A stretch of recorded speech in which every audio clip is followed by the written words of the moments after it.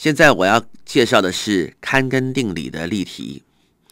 那么，首先我要介绍的是什么叫做勘根定理？勘根定理的意思就是说，假设有一个连续函数，它的图形是这样的。如果说呢，y 等于 f of x，在左边这一点它的是负的，在右边这一点是正的。它的值如果说一正一负，那么是不是如果它是连续函数，在实数上面它一定会有一个数字经过通过这个 x 轴？如果是通过 x 轴，是代表 y 等于零，那么这个数字能够带进去，会让 f 等于啊 f 的话带进去会变零的数字，我们就称它为根。所以。我们来看看勘根定理的意思，就是说，如果说这个值是 a，这值是 b，f a 乘上 f b，只要是它小于零，我就可以肯定它至少有一个根，或者是三个根，因为它连续函数，它可以绕着过来，或者是一个、三个、五个。好，那我们现在来看。但这个题目来说的话呢，它要我们证明它有一个实根是在落在一二之间。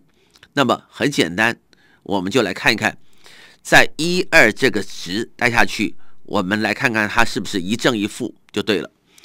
那么我们的话呢，就基本上我们先假设 f of x 是 x 平方减掉 x 减一，那么我们带进去一进去都是多少？f 一的值是一减一减一，所以是负一。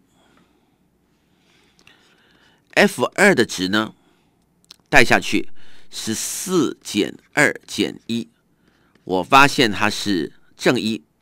好，f 一乘上 f 二，我们发现它是等于负一哦，小于零。那么 f 又是连续函数。各位同学，你们必须要注注意这个问题，它是连续函数哦。为什么？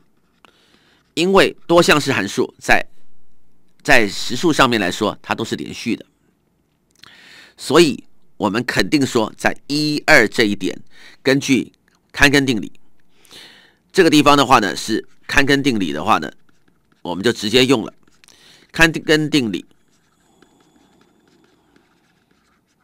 我们确定的是一二的这一点，这个区间之内必有一根。